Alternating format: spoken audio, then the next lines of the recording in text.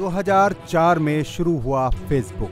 Mission था आम लोगों को एक समुदाय के निर्माण और दुनिया को और करीब लाने की ताकत देना। लेकिन ज़्यादा शक्तियाँ, ज़्यादा ताकत, ज़्यादा ज़िम्मेदारी भी लाती है। क्या फेसबुक और व्हाट्सएप निर्बाध, यानी लगातार बेरोक टोक कम्युनिकेशन, यानी संचार से विश्व को पास ला रहे हैं?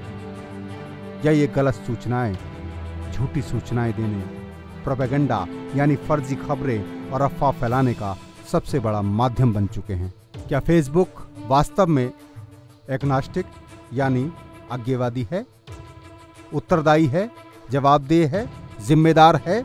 यह भारत के उन 30 करोड़ नेटिजेंस यानी इंटरनेट से जुड़े लोगों की कहानी है, जो आए दिन वीडियो और टेक्स्ट के रूप में घृणा, डर, गुस्से की भावना को बढ़ावा देने वाली जानकारी, सामग्री प्राप्त कर रहे हैं। जानिए फेसबुक कैसे एक मसीहा को बढ़ावा देता है।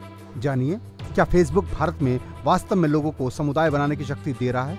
या केवल एक व्यक्ति की राजनीतिक महत्वाकांक्षाओं को पूरा करने की कोशिश कर रहा है? जानिए किस हद तक डिजिटल मीडिया का प्रभाव भारत की राजनीतिक प्राथमिकताओं और चुनावी नतीजों पर है। हम आपको बताएँगे कि किस तरह गलत या झूठी सूचना, फर्जी खबर या अफवाह के जाल में ना फंसे। बेवकूफ़ ना बने। अपने सूत्रों या माध्यमों को पहचाने, जानिए सोशल मीडिया का कैसे दुरुपयोग होता है। भीड़ या झुंड का हिस्सा ना बने। एक पर्दाफाश है। भारत में फेसबुक के असली चेहरे का पर्दाफाश। फॉलो करें द असली फेसबुक डॉट कॉम और पाएँ सही जवाब, असल जवाब।